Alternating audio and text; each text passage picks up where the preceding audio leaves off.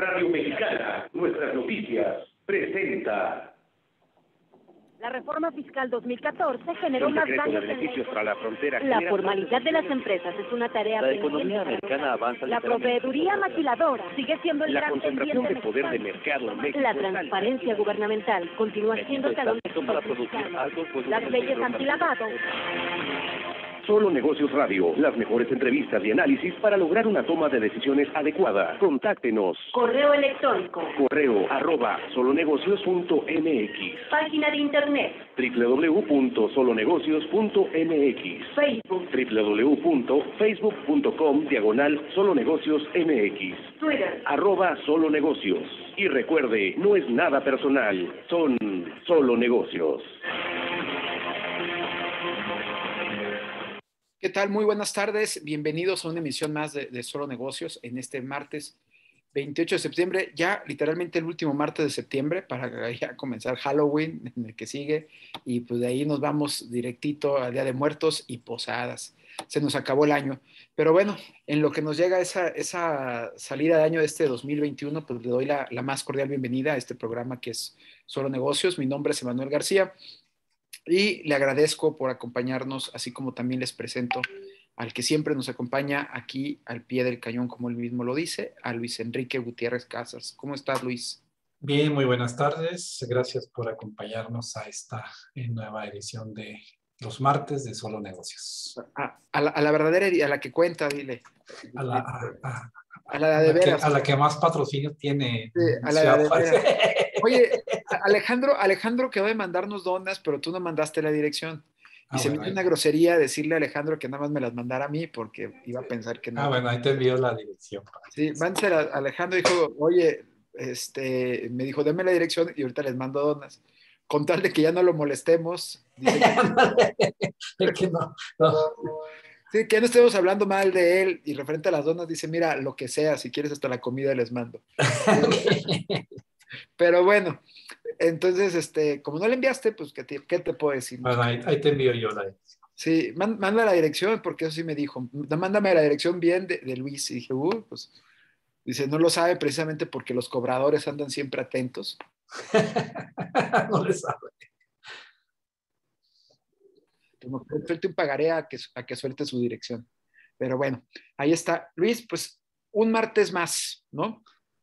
Así es, eh, yo creo que tenemos eh, varias eh, este, cosas de qué, de qué hablar. Eh, este, bueno, eh, a- a- además de un tema que tú me comentaste, pero creo que está el tema eh, este de- del CONACYT, eh, está Ah, entre que es una persecución o no, entre que hay una acusación y no, entre que sí se tiene razón o no. Tal vez vale la pena tomar Pues sí, unos sería bueno minutos con para, para y- hablar de ello. sí, Eh, claro. También el próximo jueves se reúne el Banco de México, el, el Consejo del Banco de México, la Junta pues de Gobierno, y bueno, tomará una decisión en torno a eh, las tasas de interés. También eh, se está este, viendo ahora sí como algo más eh, sostenido, por decir así, una desaceleración de la economía norteamericana, lo cual evidentemente nos afecta, pues son temas eh, interesantes. ¿sí? Ok, ¿con qué empezamos? ¿Con lo de Como eso, eso duele. gustes. ¿Por qué duele? ¿Por qué duele?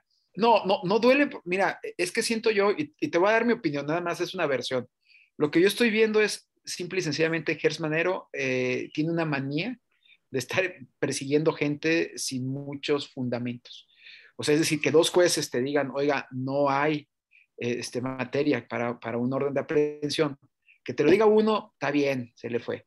Pero que te los digan dos, Lo que, lo que ocurre es que yo no sé si se hable de que, hay, de que no hay eh, motivo, sino más bien de la cuestión procedimental. Creo que por ahí también hay elementos de estos eh, no, eh, en, en, torno a esa acusación. Sin embargo, la verdad, la verdad es que sí llama la atención, llama la atención. Eh, en... ¿Por qué razón? ¿Por qué razón llama la atención? Y creo que es válido ponerlo en la mesa, claro que se tiene que discutir, llama la atención porque eh, pues eh, lo que entiendo es que a Germanero durante algunos años este, como eh, no pudo ingresar al Sistema Nacional de Investigadores, es lo que yo entiendo. Luego, obviamente está en una posición importante, de hecho privilegiada dentro de lo pues, es el, prácticamente el fiscal, ¿no? Es el fiscal general de la República. Y, y, pues prácticamente de manera inmediata obtiene el ingreso al SNI. Ojo, yo no estoy, yo no estoy cuestionando que lo merezca o no lo merezca, pues bueno, ya hubo una evaluación y ahí está el resultado. Claro que llama la atención de por qué antes no, ahora sí. Y aquí este, llama la atención en, en varios sentidos, tanto por las administraciones anteriores del CONACYT y ahora por la administración actual. Es decir, es decir, son puntos que creo que son válidos, como que decir, a ver, son elementos que sí se tienen que ponderar en una mesa cuando se está hablando de esta situación del CONACYT. Pero pero y fuera de esto, fuera de lo que podría considerarse elementos más personales, eh, como motivaciones, eh, este, pues no sé, que, que, pueden hasta rayar en el revanchismo, ¿no? Eh, creo que aparte de eso, también hay otros elementos que sí podríamos hablar de ellos y, y, que creo que sí son necesarios que platiquemos de ello en el caso que se está presentando.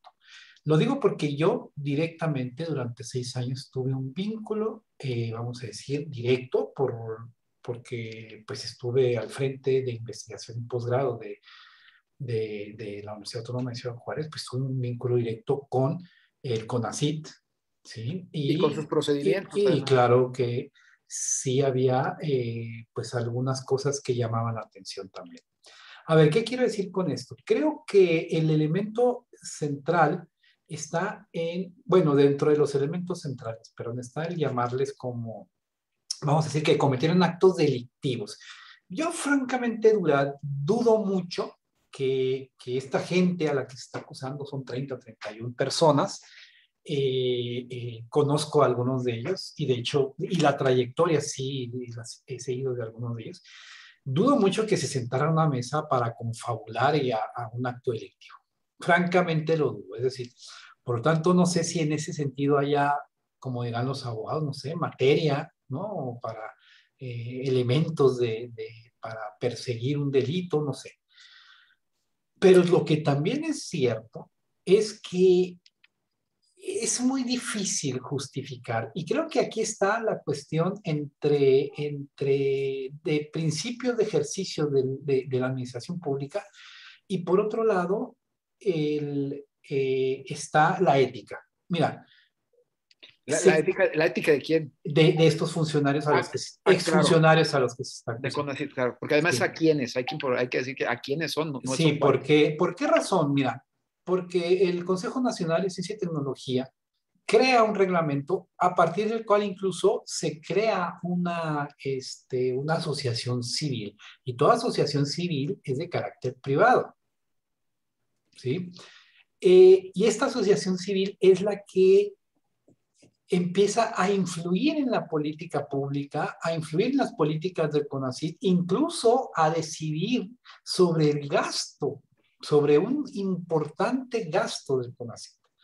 Eh, y bueno, ¿por qué digo que luego viene el, tema ético? Aquí, en, en, eh, eh, pero antes de, entrar a esto, es, es, quiero comentar, bueno, pero es difícil entender entonces cómo un organismo público, como el CONACYT, entrega recursos a un organismo privado para que éste los distribuya. Sea, es, difícil entenderlo. Luego, lo que vemos en la parte ética es que vemos como un, una especie de carrusel entre funcionarios de CONACYT y directivos o de, de este, esto que se llama el foro consultivo, esta asociación civil.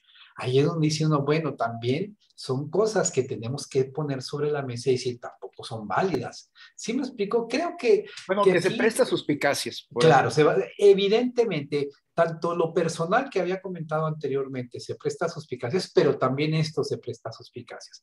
Entonces, eh, hay, obviamente, hay una a, a, pues, avalancha, por decir así, de, de de grupos dentro de instituciones que, que hablan de persecución, que esto, otro.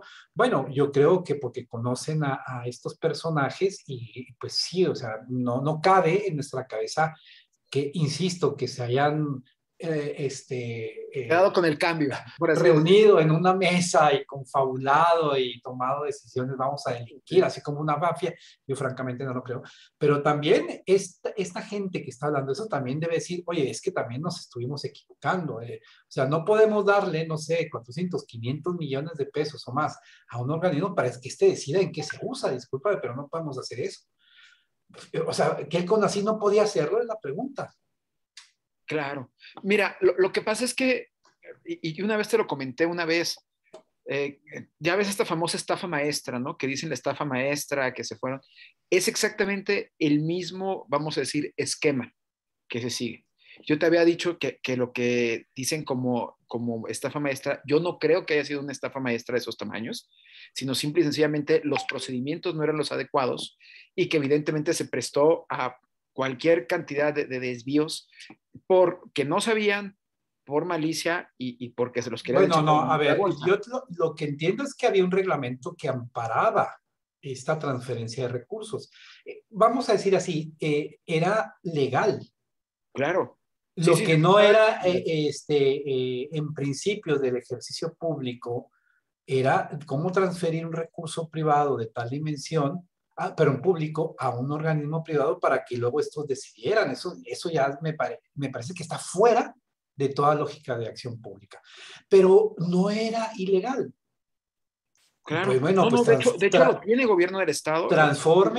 Transfórmese, El reglamento, cámbiese el reglamento y se le dice a, a este consejo consultivo, bueno, pues que hagan su trabajo en función de los principios de la asociación civil que tienen y allá consigan fondos, pues no con el sector público, o sea, consigan fondos con el sector privado, pues obvio. Eso sí es muy importante decirlo. Eh, eh, entonces, sí, lo que sí es cierto es que dentro de la acusación, si finalmente se encuentra ahora sí un desvío de recursos que hasta el momento yo no desconozco, no se ha mencionado nada como tal de un desvío así de que voluntariamente pues yo me los embolsé y los llevé a las Bahamas, ¿no? Algo así el, el recurso. Eso, Yo eso, no, no me imagino a, a Cabrero en un crucero. no, yo así, así como que escondiendo, o sea, casi casi están dentro de los papeles de Panamá y todas estas cosas. Gabriela Dutrenir yendo a Panamá a depositar o a Suiza, ¿no? E- Eso es lo que yo no veo, pero también no hay que decir que eh, este, somos inocentes en el sentido, bueno, hay una ética y también hay que entender, hay un principio del ejercicio del presupuesto público y no creo que fuera correcto, francamente no lo creo, que se destinara un recurso a un organismo privado como este y luego que estos decidieran su... su Bueno, destino. pero, pero a ver, espérame, aquí vamos a una pausa que, bueno, no tanto comercial, todavía no nos manda. Pero a ver, ahí la pregunta, ¿no hay hoy en día en, en asuntos más relevantes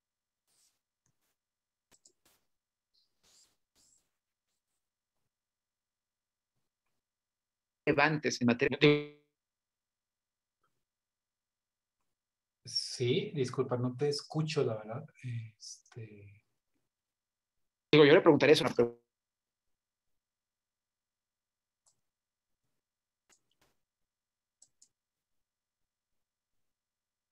pregunta, ¿sí? Para que, a ver, listo. Sí, ya te escucho. Te, te decía,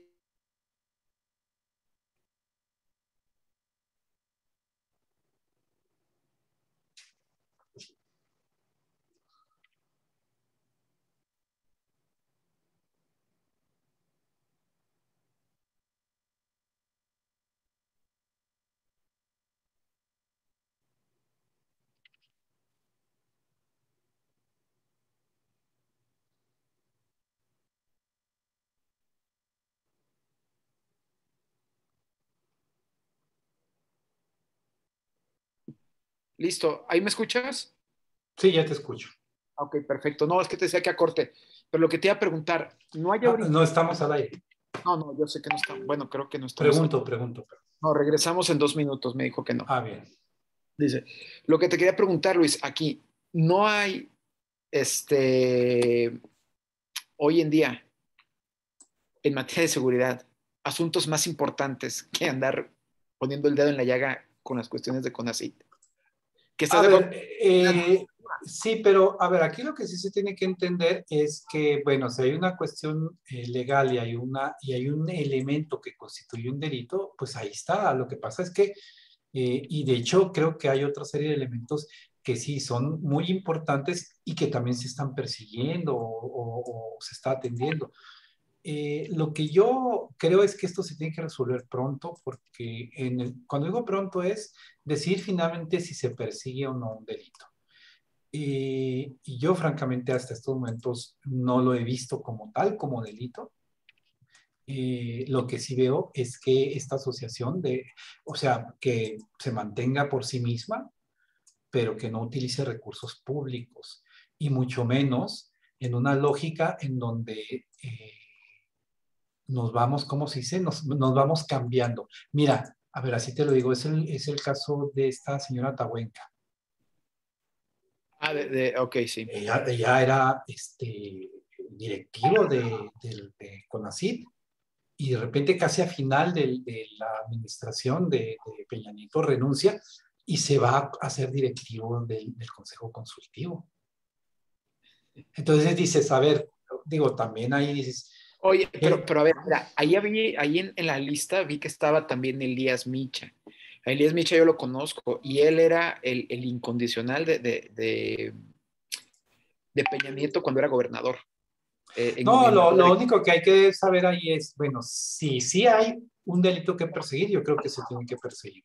Lo que hasta ahora no Oye, ya veo estamos- es que haya como tal un delito. Ya estamos de regreso y, y, bueno, estamos aquí platicando de toda esta situación que está ocurriendo ahorita en CONACYT y, platicaba Luis Enrique precisamente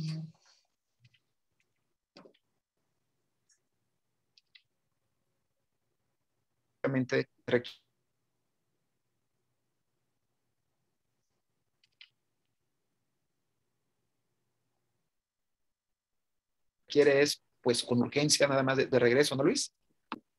Pero de una manera ya pues, rápida o expedita, no, no, no podemos esperar más. Sí, yo creo que no se tiene que alargar mucho esto, francamente. Y, y bueno, si es un tema nacional porque se refiere al área, eh, este, vamos a decir, al eje central de financiamiento de la investigación en este país, porque ni siquiera el sector privado, de hecho, es muy curioso, pero el sector privado de este país la inversión en investigación es increíblemente baja e incluso es a través de CONACYT como se ha transferido a la empresa privada recursos para investigación.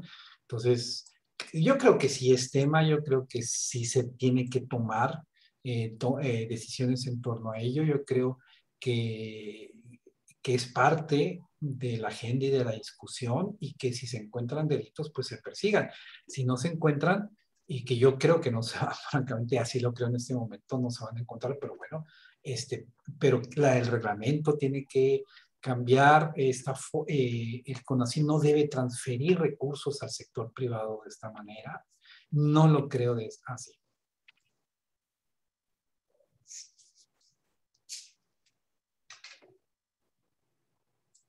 Incluso, ¿sabes que esta semana enviaron un,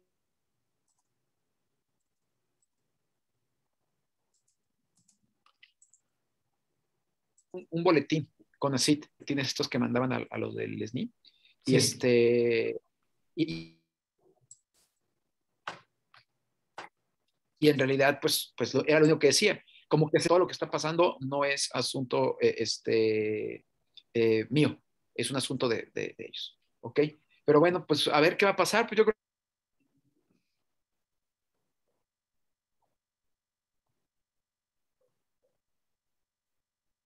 Creo que tiene que, que, que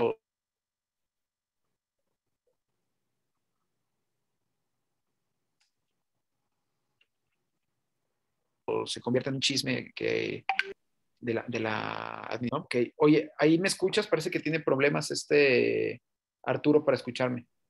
Sí, de hecho yo también a veces, este, ah, en okay. ocasiones eh, se congela la voz y ya no sé si estamos a, al aire o no, eh, disculpa. Ah, no, no, sí, sí, seguimos al aire, nada más que el, el del...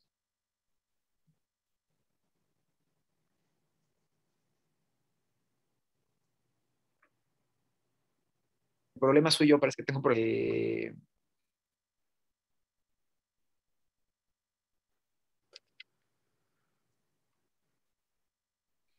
eh, pues, entonces, una disculpa de antemano. Oye, Luis, el otro tema que tenemos pendiente, que mencionabas, la reunión del Banco de México. Sí, el próximo jueves hay una reunión de la Junta de Gobierno del Banco de México y, así como cada banco central en cada país, pues las reuniones eh, resultan en eh, decisiones eh, importantes y sobre todo que tienen que ver obviamente con la tasa de interés. Y aquí pues la incógnita es si el Banco de México empieza a seguir esta lógica, bueno, esta, esta tendencia de los últimos dos meses eh, de incrementar la tasa de interés o la mantiene. Lo que sí va a ser muy difícil es que la reduzcan. Eh, este, eso sí va a ser, eh, no, no lo vamos a ver, yo creo que no lo vamos a ver.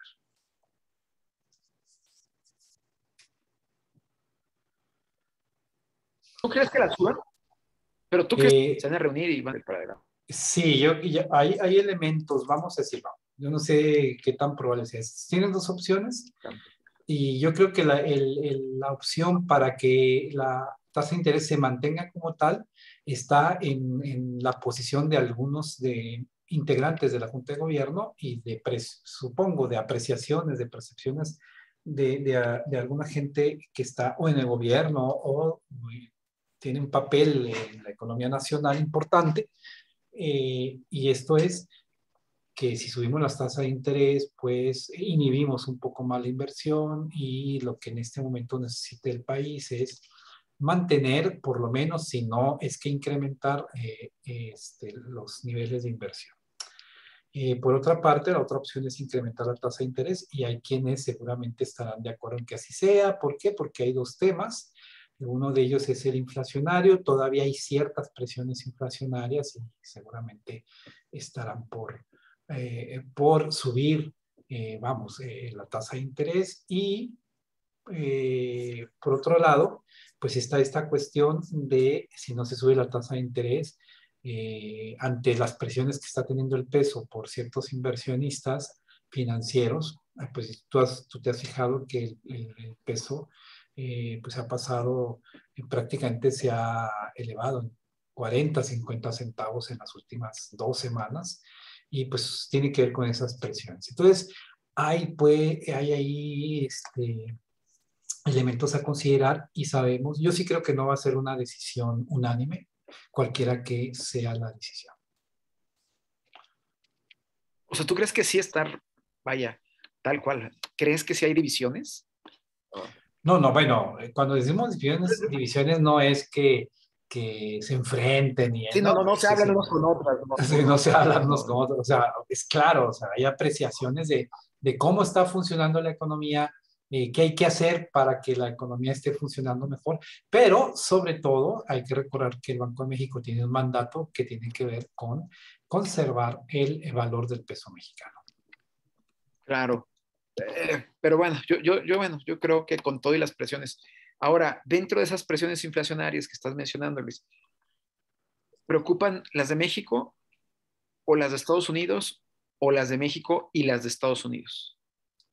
Yo sigo creyendo que esto es coyuntural, aunque duren tres, cuatro, cinco meses, porque tuvo que ver con los resultados de la, pandemia, tuvo que ver con eh, esta desarticulación de ciertas cadenas, eh, este, de producción, tiene que ver eh, ahora con la reactivación económica, eh, que ahora está demandando pues más petróleo, tiene que ver con, bueno, los alimentos también empiezan a ser, y de hecho esto de los alimentos es algo más tendencial, es algo más que viene, no de una cuestión de, de, hace un año, o sea, pero es que es una cuestión que amenaza en el largo plazo, sobre todo porque esto tiene que ver con el cambio climático y es algo que no creemos, la verdad es que es algo que no creemos.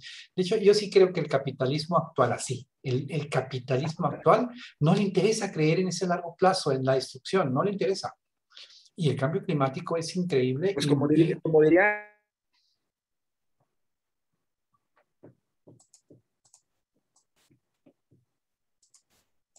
en el largo plazo todos estaremos muertos, ¿no? De todas maneras. No, no, pero eh, aquí cuando hablo de largo plazo, no hablo de 100 años, estoy hablando ya a la vuelta de la esquina. 20 años. De hecho, 10 años. 10 años, 20 años, no, no.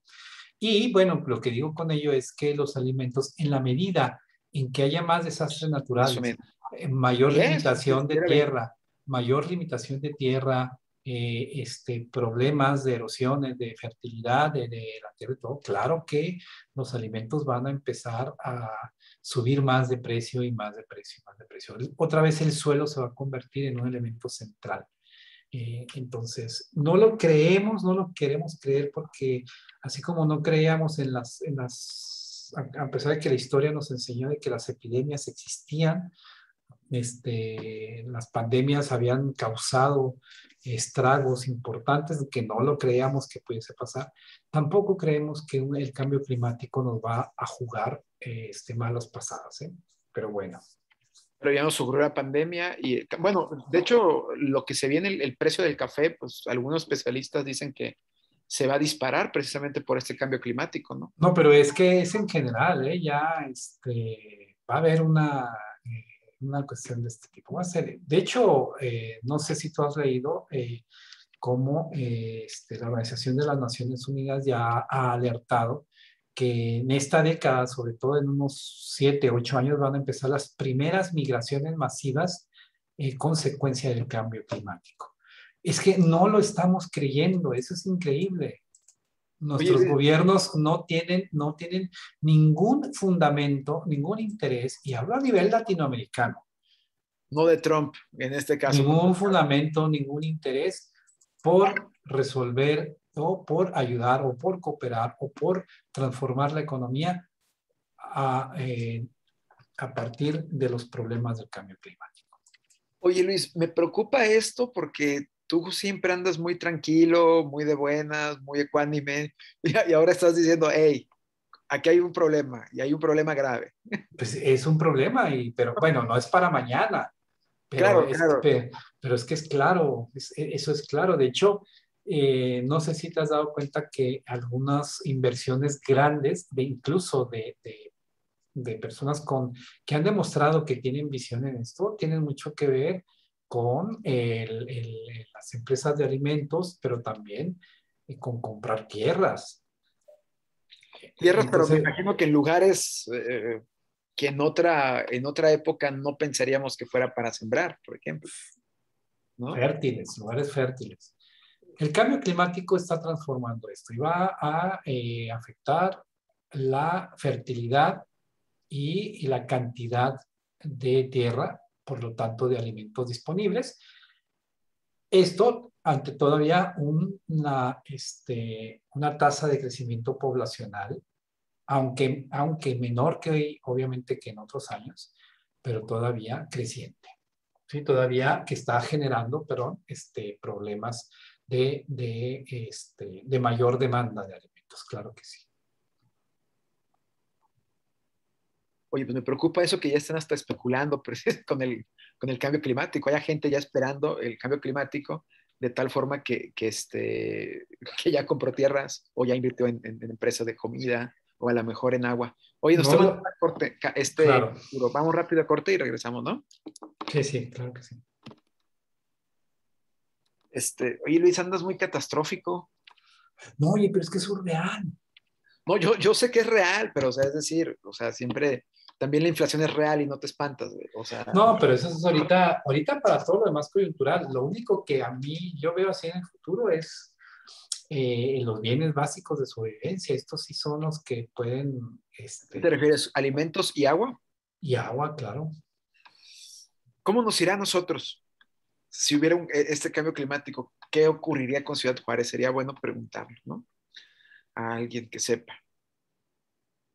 Digo, lo podemos ver en, el cambio que ha tenido, me imagino. Pero, a ver, precisamente las mejores universidades y centros de investigación del mundo y los think tanks y todo, claro que ya han discutido, tienen áreas de discusión del futuro a partir de los problemas del futuro, migración, cambio climático, este, agotamiento de ciertos recursos, en este caso como el agua. Eh, aquí no, eso, eso no, no interesa. De veras, o sea, digo, Pero no solo a las universidades, no le interesa al sector, al gobierno ni al sector privado. Aquí no pasa nada, vaya. Se andan peleando por traer y traer más este, empleos, pero además empleos de mala calidad. Y, esa es su mayor preocupación, repetir los errores de siempre. Ah, regresar a los ochentas. Entonces, y, y, no, no. Entonces, ¿cómo vamos a preparar a una ciudad, así te lo digo, con estos eh, eh, temas globales si ni siquiera nos sentamos a discutirlos? Sí, porque yo creo que es relevante, ¿no? Saber qué va a pasar con esta región. ¿Vamos a ser de los que vamos a migrar o de los que vamos a recibir migraciones? Claro, no, y a mí me parece que no vamos a recibir migración. ¿Cómo vamos a resolver un problema de abastecimiento de agua, de, de este, limitación de tierras, de fertilidad de las tierras, eh, en principio, ¿no?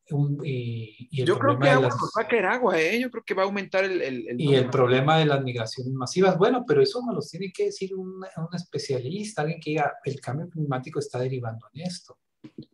Ok, ya estamos, ya estamos de regreso y estamos platicando aquí con Luis Enrique Gutiérrez Casas acerca de, de pues precisamente estas problemáticas que, que, van a estar afectando la economía del futuro y, y, y el, la vida, ¿no? En general estamos hablando precisamente de este cambio climático que parece ser que al menos en la región a pocos o a nadie le interesa, ¿no? O sea, o no están poniendo, digamos, el centro del problema para atenderlo con alguna discusión o con, o con pues, simplemente irlo pensando, ¿no? Para que vaya tomando forma.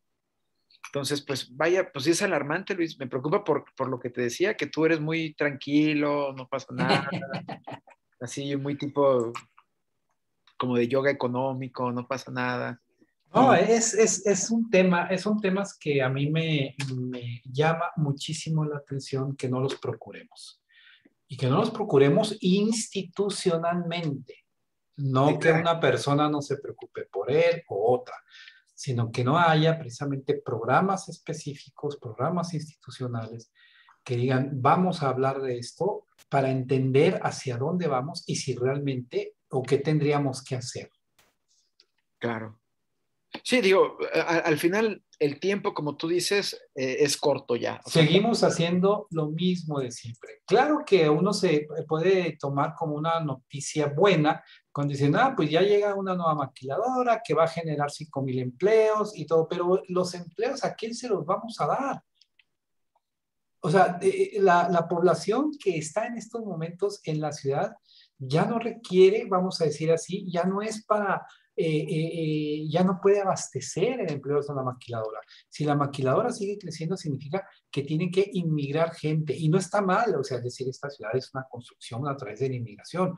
El tema es sencillamente que la ciudad no se ha construido para crecer bien, para crecer eficientemente. En la medida que estamos creciendo más, estamos generando más problemas. Y entonces decimos, vamos a crear 5 mil empleos, pero además empleos típicos de hace 30 años.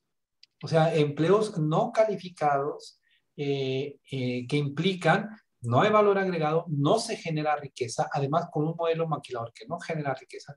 Y entonces seguimos cometiendo los mismos errores de siempre. Seguimos atendiendo el mismo problema hace 30 entonces, Entonces, aquí la pregunta es, entonces, ¿quién está pensando en el futuro de esta ciudad? Claro.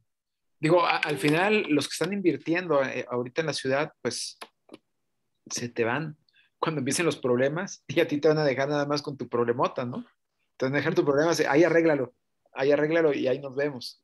Claro, pero y además tú sabes que eso lo resuelven las migraciones, o sea, es decir, también hay que prever eso, así como hubo un tiempo, por ejemplo, en que hubo corrientes migratorias masivas hacia esta ciudad, o bueno, relativamente masivas, por ejemplo, de algunas regiones del país, ya sea eh, del norte, centro norte, o por ejemplo hasta de Veracruz, ya es, es decir, algo que ocurrió normal. ¿Por qué? Porque había oportunidades, había empleo y, empieza a haber crisis en la ciudad, la ciudad ya no crece como antes y eh, pues hay un retorno o en su caso eh, una nueva diáspora, es decir, la población, esta población se fue a otra parte.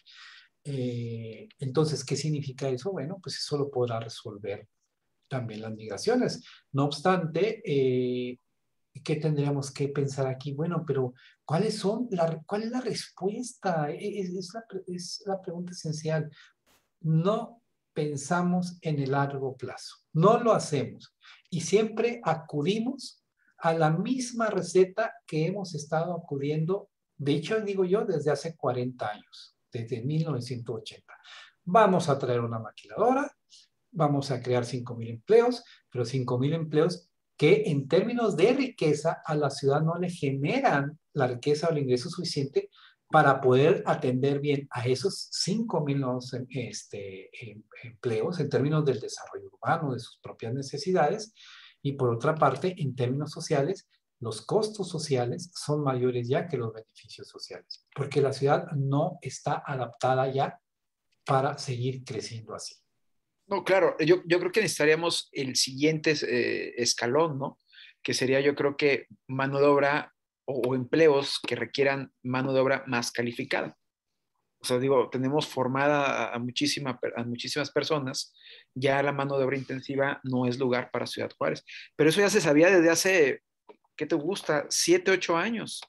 Sin embargo, los empleos, pues obviamente que van a ofrecer. Bueno, se sabía desde hace más tiempo, pero pero yo sé que lo han, yo entiendo, lo, lo tengo claro, que lo han reconocido cada vez más este, la gente que está dentro del área del desarrollo económico aquí en la localidad, sean empresarios, empresarias, sean eh, gente del gobierno. Eh, pero el, el, el, tema es que estamos dando las mismas respuestas de siempre, es decir, aun cuando reconocemos el problema, por lo menos visualizamos algo de este, lo, el, las respuestas siguen siendo las mismas. Y no podemos, es que es eso, estamos esperando que suceda algo diferente haciendo lo mismo. Claro que no. Eh, eh, eso sí está. Y esto tiene que ver con, eh, parecería ser desarticulado con lo que estamos comentando, pero no. Esto tiene que ver con lo que decíamos al principio. ¿Dónde están estos grupos que discuten el futuro de la ciudad, pero no el futuro en dos o tres años? ¿Dónde están los que, discuten, reflexionan, eh, crean escenarios, eh, crean posibles respuestas eh, en torno a qué va a pasar con la ciudad, pero en los próximos 10, 20, 30 años? Ese es el tema, es un tema fundamental. Y que al parecer no nos ha, no nos interesa, no, nos interesa. No nos interesa. en el gabinete de ningún orden de gobierno. Como, como, instituciones no nos interesa. Ni siquiera el sector privado tiene ni grupos que estudien esto o por lo menos iniciativas sobre esto. Eh, claro. No, incluso, digo, y, estamos viendo que los problemas que están viviendo, por ejemplo, el centro del país, por ejemplo, Tula con las inundaciones, eh, que antes no tenía, que por lo menos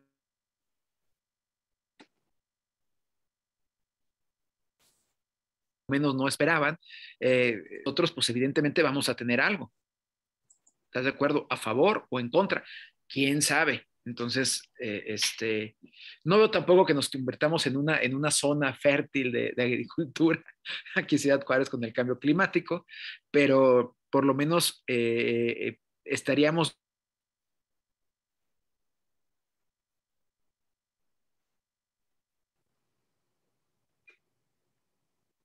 yo creo que en una situación incómoda con lo... El tema sí se ha estado avanzando, ¿no? En, en, la cuestión del agua. ¿Tú estás más enterado de esa situación?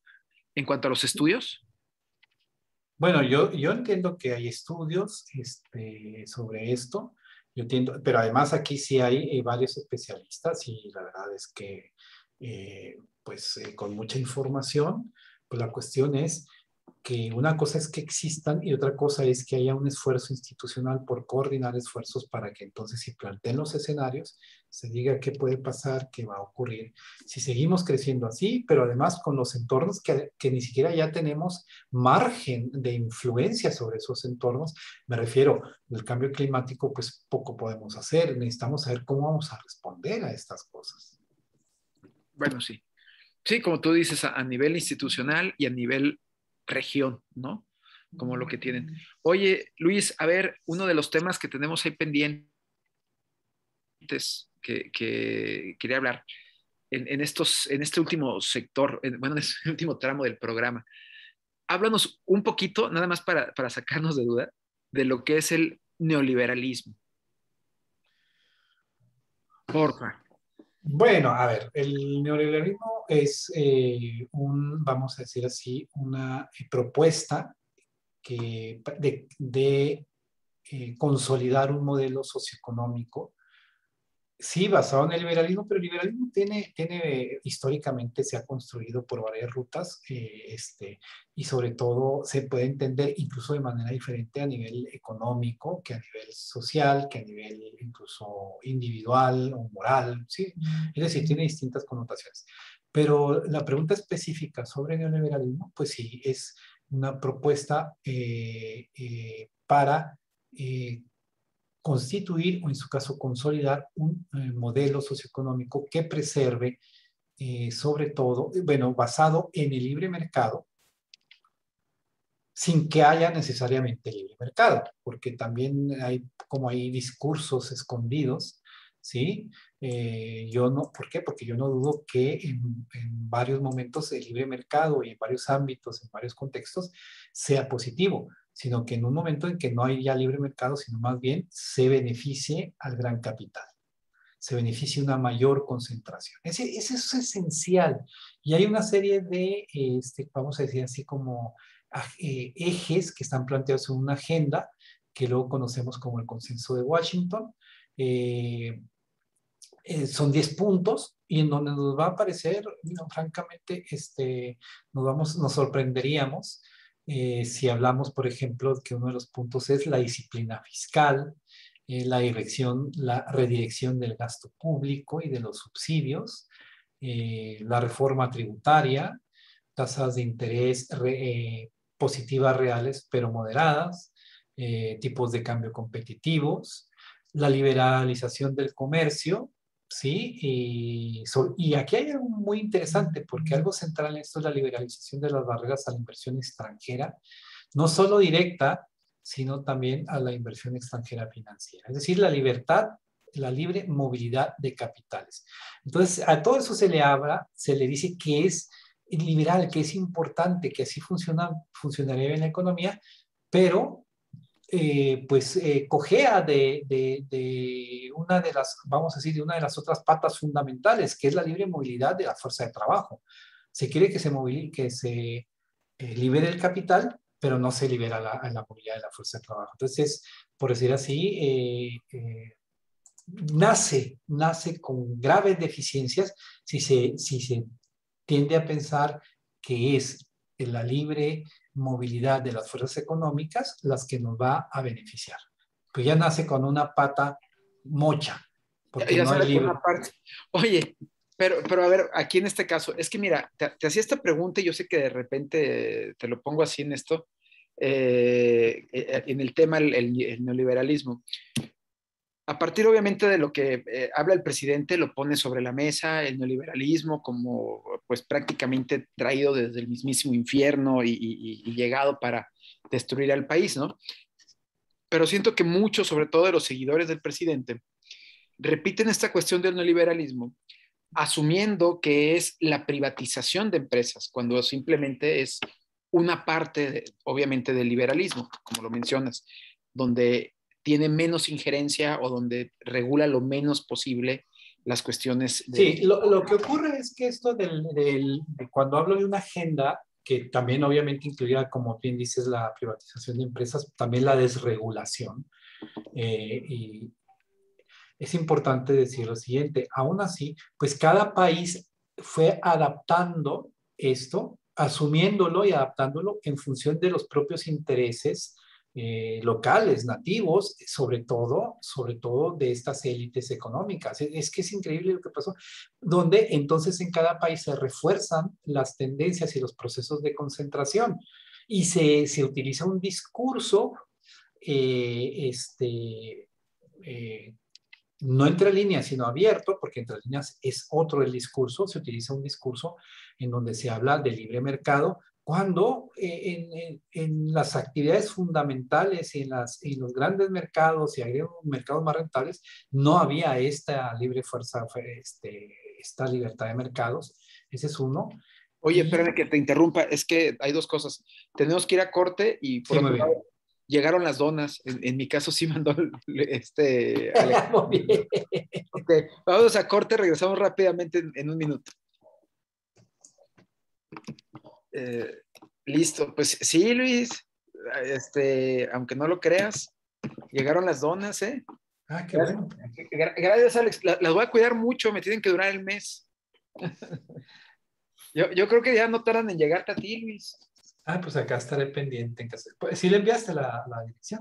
Sí, sí, no, pues primero le envié la tuya y después la mía. Pero como yo tengo aquí a, a una de las tiendas, eh, ahí de las donas al lado. Ah, pues rápido, rápido. ¿Y cuántas te llegaron? Eh, pues es que todavía no la abro porque pues no, no, pero ahí te digo, ahí viene, pues viene el ticket, son 12 donas. Órale, una docenita. Tan ricas que están, ¿verdad? No, sí, es, es sorpresa ver qué, qué, sabores son, no, no, no me dice. A lo mejor eran los que ya hicieron en la mañana o la semana pasada y, y dijo Alex. no le digas eso. ¿No? eso. Eh, por eso no sabemos qué donas son. No, no, al contrario, Alex, gracias. ¿eh? El que andaba pidiendo donas, déjame aclararlo de una vez, Alex, es Luis. Luis es el que andaba diciendo. Yo quería café, él, él quería donas. ¿eh? No, no, yo, yo, yo decía que nos invitara a comer, a cenar, rico. Ok, entonces ya le cambias la jugada. ¿Sabes qué? No, pues como que con unas donas nos vas a comprar. No, sí, sí, se, se discutió con una docena, ¿eh? Oye, No, este. pues muchas gracias. y aparte- Y bueno, ahorita que lleguen le, le- le escribiré. Sí, ahora ahora que lleguen, que te lleguen a ti, ya, ya le das las gracias, ¿no? Ya a mí ya. A lo mejor son las tuyas, ¿no? Y tengo que llevártelas, ¿no será eso? Pero, pero aquí están ya las, las, las donas artesanales de. Pues todavía no estamos al aire, ¿verdad? De- Así que no, no sé. no, de, Falconi, pues ya, ya saben. Allá en el aire a lo mejor no lo podemos decir, pero es, es aquí está. Ya estamos entrando al aire. Eh, bueno, parece lo que me está mandando Arthur, pero todavía como que mandó el mensaje y se desdijo, ya no me regresó la, la- el punto. E- Es que mira, Luis, me llama la atención esto del neoliberalismo porque yo creo que sí es un tema, ya, ya estamos de regreso ya, eh, eh, aquí al aire, y estamos platicando con Luis Enrique Gutiérrez Casas acerca de, de- de- del concepto de esta palabra, ¿no? Que, eh, que, al final, que al final del día, pues, ha sido interpretada por eh, N número de veces de quien la escuche y de quien la diga, para tratar sobre todo de una manera peyorativa algún tema, ¿no? Y entonces ya no hay peor grosería hoy en día que te digan neoliberal, ¿no? Eh, eh, si- sin embargo, tú dices que, que no es algo pues obviamente deseable como tal, porque el mercado pues no se regula por sí solo, ni tampoco el dejar que se acumule el capital. sea la mejor- No, a ver, el- a ver, lo que yo digo es que, eh, le- vamos a decir, debemos entender una cosa, un, un gobierno como alguien que puede intervenir en un mercado, ¿sí? Este, lo puede regular, pero no puede estar interviniendo, siendo, por ejemplo, o productor o propietario en todos los mercados. No puede decir yo soy el que voy a decidir este, la, la asignación de recursos. Precisamente se entiende que el mercado eh, funciona y a veces funciona bien tomando estas decisiones.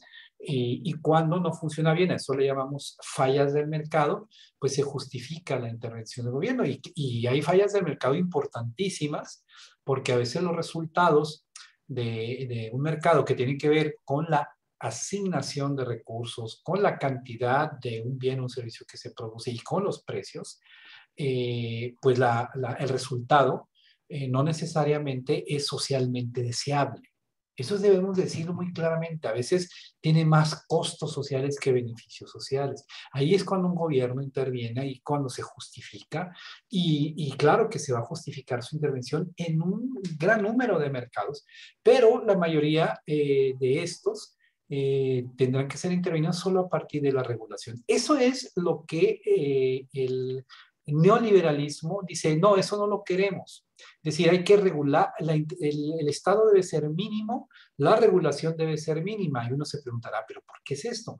Bueno, porque subyace la, eh, la idea, por lo menos ideológica, pero, disculpen, subyace la ideología de que eh, los mercados funcionan bien y estos van a resultar en una economía que crezca y el crecimiento va a beneficiar a, a todos, nos va a beneficiar a todos. Eh, pero resulta que ya no estamos en un contexto que partimos de cero, los mercados están no solo regulados muchos de ellos, no solo con intervenciones importantes de los gobiernos, a veces eficientes, a veces ineficientes, sino también con un predominio de grandes empresas o de un conjunto de empresas sobre estos. Entonces, eh, no puedes decir estoy partiendo de cero, no es cierto, es un mito. Eso de que vamos a con la libertad de mercado. Eso es uno. La otra eh, es que los equilibrios de la economía y una asignación más eficiente sí tiene que ver con una, libre pues, movilidad de los capitales, porque eso va permitiendo, vamos a decir así, que los mercados funcionen de manera más eficiente, que a veces las soluciones sociales sean las más eficientes. Pero también se elimina la posibilidad de que uno de los mercados esenciales, que no es el de capitales, sino el del trabajo, también se vaya ajustando y vaya haciendo más eficientes a los mercados. Es decir, no se permite la movilidad laboral, la libre movilidad laboral, por lo menos en la inmensa mayoría de los países. La Unión Europea, pues es otro cuento. Y en este caso, eh, eh, entonces se usa mucho del discurso para cubrir algo. Los mercados, muchos de ellos están nominados, que significa que hay grandes empresas, que hay eh, o que en todo caso hay oligopolios o duopolios en esto, y lo que se tiene que hacer es, vamos a decir, conservar eso, y hay eh, áreas que no han sido eh, abordadas por el sector privado y por eso se dice hay que privatizar porque ahí hay mucho de rentabilidad, pero el discurso que no se dice es que eso es, es decir, que lo aborda el sector privado y luego se concentra más el capital. Para mí, para mí, fuera de, los beneficios del, liberalismo concebido como tal. El neoliberalismo no, es más, no fue más que una agenda, y no ha sido más que una agenda para eh, propiciar, para consolidar un proceso de concentración de capitales, un proceso de concentración de riqueza, ¿sí? A partir de estos grupos que finalmente podemos hablar hoy como élites económicas o incluso élites político-económicas. Eso es. Por lo tanto, sí, claro, e, es, es evidente que si alguien critica es que esto es neoliberal, claro que hay un uso excesivo del término neoliberal, no puedes acusar a todos de neoliberales, tampoco lo puedes acusar a alguien de que crea en, en el liberalismo, que crea en el libre mercado, me parece que, que puede ser correcto en los ámbitos y con esto que estoy diciendo de que se justifica a veces, a veces no la intervención del Estado pero sé que hay un uso político excesivo para descalificar, pero también hay uso excesivo desconociendo las agendas ocultas de esto. Entonces, en, eh, ese sentido, yo creo que sí, que el neoliberalismo debe ser como tal, como tal, eh, eh, pues, si no eliminado, como agenda mundial. A ver, ¿el neoliberalismo es el malo de la película o la concentración de capital? Eh, eh, sí, es, es decir, el neoliberalismo usa un discurso y principios eh, a veces ideológicos que tienen que ver con, en términos económicos, no sociales, que tienen, porque también hay liberalismo político, que tiene que ver con los libres mercados y justifica que esto debe ocurrir y por lo tanto se deben liberar los capitales, pero con una agenda oculta. Se va a concentrar más capital. Pero no se habla de libertad de, movimiento del trabajo, ¿sí? Y este, tampoco eh, se habla, por ejemplo, de que hay eh, espacios estratégicos para el Estado. No, no se habla de esto. Y y en ese sentido creo que el liberalismo sí debe ser este, revisado, el neoliberalismo revisado, y en su caso, pues hay posiciones muy este, válidas y hay posiciones más racionales que, que dicen, bueno, es que los mercados sí deben de funcionar, varios de estos, es menos costoso, hay menos costos sociales, deben de funcionar de manera libre y me parece bien, pero si hablamos de libertad, debe haber libertad de movimiento de capitales y de libertad de, este, eh, de, movilidad de personas. Si no, estas eficiencias que tanto se aducen, que insisto, a veces son más ideológicas que reales, estas eficiencias no van a ocurrir, es una mentira. Claro. De hecho, también había una, una parte de la teoría del famoso spillover, ¿no? O sea, es decir, bájale los impuestos a los ricos, porque si le bajan los impuestos a los ricos, se van a beneficiar a los pobres con una derrama de, de inversión. sí, sí, eh, eh, también es, es, más ideológico y más concebido esta ideología para proteger unos intereses, porque, a ver, no hay, no es cierto, no hay una, yo sí creo que no hay recetas ni universales, ni, ni porque eh, este, los países que tienen, vamos a decir así, el mayor nivel de bienestar del mundo, esto concebido con las mediciones tradicionales de bienestar, es, eh, son los nórdicos y son los que tienen las mayores las eh, tasas, las tasas más altas de impuestos. Entonces, no es cierto. Eh, lo que pasa es que se superpone una cuestión ideológica que esconde muchos intereses concretos económicos y, revestimos esto de una gran agenda que pareciera ser adecuada y, y, ya, pero eso en los 90 ya pasó, en los 90 se dieron cuenta de que esto del neoliberalismo era el fracaso. Sí, ojo, no estamos diciendo, y yo no, lo, y, yo no creo en ello, que entonces tiene que venir así un Estado a, superponerse sobre el individuo y sobre la libertad económica. Yo no digo eso. De hecho, no creo en eso. Pero lo que, pero lo que sí digo es que no puedes llegar con una mentira y decir, es libre empresa en mercados que ya no son libres en decir privatizar solo para transferir riqueza a quienes ya la tienen y que vas a concentrar y vas a proteger eso. Eso, eso es, eso es el verdadero rostro, por decir así, del neoliberalismo. la, verdadera, agenda. la verdadera agenda. Entonces tampoco nos tenemos que rasgar las vestiduras, ni sirios, ni troyanos, ni propios, ni extraños, y tenemos que poner las cosas nada más bien sobre la mesa y decir, ah, queremos libertad, pues libertad para todo. Ya, estamos sacando el programa, pero me dejas preocupado hoy. Hoy la verdad es que estoy muy preocupado. Primero porque estás tú también preocupado por una cuestión que antes no te preocupabas. Y segundo, que ahora eh, en esta explicación, en esta parte de, las agendas, suena muy a teoría conspiratoria, o, sea... Bueno, sí puede sonar a teoría conspiratoria, pero solo hay una cosa muy importante. Nada más ve la estadística y en los últimos 40 años vas a ver los niveles de concentración y desigualdad cómo se han incrementado en el mundo. Ah, no, claro. Entonces, eh, entonces puede ser cualquier teoría conspirativa, pero los resultados ahí están. Sí, claro, hay gente que se está enriqueciendo más y hay, por el otro lado, que nos estamos empobreciendo todos los días, o sea, y somos más esos. Pero bueno, se nos acabó ya el tiempo, Luis. No sé si quieras agregar algo más con, con esto de, de, los temas que estuvimos revisando hoy. No, muy bien, no, muchas gracias por acompañarnos y bueno, siempre trabajamos en estos términos. Ojalá después podamos hacer un programa con llamadas, ¿no? Este, sí, puede ser, pero qué, pero qué miedo, ¿no? O sea, que, que te hablen para... Pero porque pues, si no nos van a hablar más allá, o sea, nos van a hablar... no, no, no, no, que, la gente que hable Pedro Infante, una cosa así, o, o, hable Keynes, no sé, no, no, no sé. Eh, este, pero bueno, oye, que dice Alejandro que te llegan las donas a las 5 horas con 5 minutos, ya es que eres muy tecnológico y muy preciso. Sí, ya tiene ahí, las envió por, por, eh, Sí, te las envió por, una plataforma, por una plataforma. Por una plataforma, pero ya, no, tarda, no tarda en llegarte las donas. Okay. No, dile, muchas gracias, Alejandro. Ok, bueno, pues también le agradecemos a Arturo que está del otro lado de la cabina aguantándonos con todos los problemas técnicos que tuvimos hoy y todas las broncas. Saludos Arturo, a ver cuándo ya nos permiten tener el programa así en vivo y a todo color ahí en la cabina. Eh, no, ni le muevas porque te van a decir que ya, que, que si quieres. Ok, entonces, este, bueno, nos, nos vemos, nos escuchamos la próxima semana en este mismo espacio y mañana de 4 a 5, obviamente, Alejandro Sandoval en, la emisión de los miércoles de Solo Negocios. Muchas gracias y hasta la próxima semana.